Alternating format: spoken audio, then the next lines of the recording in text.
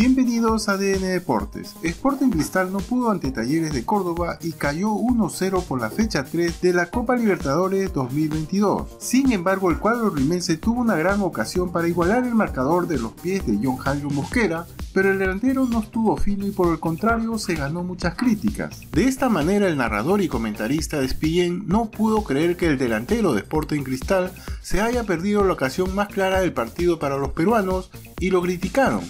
Escuchemos.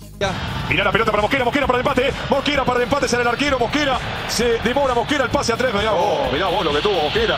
Iba en slow, iba en cámara lenta Mosquera, ruso. Pesado allí Mosquera para atacar esa pelota. De esas chances que no abundan. Mirá la bronca de Mosquera, lógico, del entrenador Mosquera. Sí. Para con el ataque.